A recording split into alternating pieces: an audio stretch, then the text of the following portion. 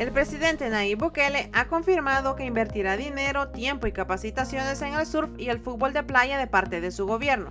Este anuncio surge luego de la excelente participación de las selecciones masculina y femenina en el clasificatorio mundial de juegos de playa y también por la medalla de bronce obtenida por el surfista Brian Pérez en los Juegos Panamericanos de Lima.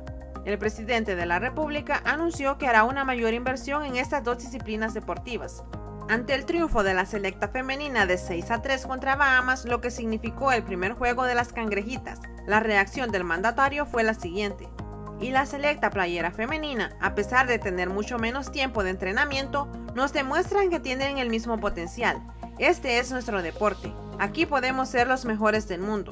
Posteriormente agregó, y en el sur por supuesto, en el surf y el fútbol de playa tenemos dos oportunidades para ser los mejores del mundo a corto plazo. Haremos las inversiones necesarias, afirmó el mandatario salvadoreño en su cuenta de Twitter. Por su parte, el presidente del Instituto Nacional de los Deportes Indes, Yamil Bukele, reiteró este apoyo para los atletas salvadoreños.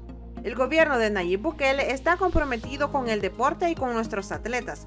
Como Indes El Salvador les decimos, los atletas de todo El Salvador no volverán a estar solos. Pido perdón por ese abandono que sufrieron, afirmó.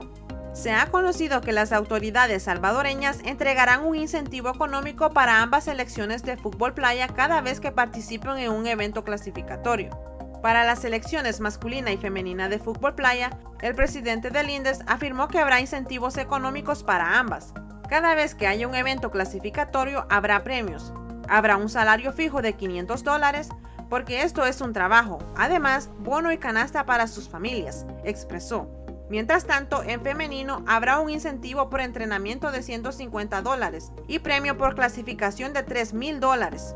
En el tema del surf, las autoridades del Ministerio de Turismo están trabajando en el proyecto Surf City, el cual será el programa emblemático de la administración para el próximo quinquenio para el desarrollo de la costa.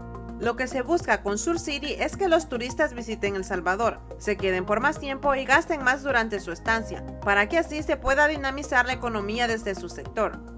Además, se busca potencializar las habilidades de los niños y jóvenes que viven en la zona costera y que sueñan con triunfar en el surf.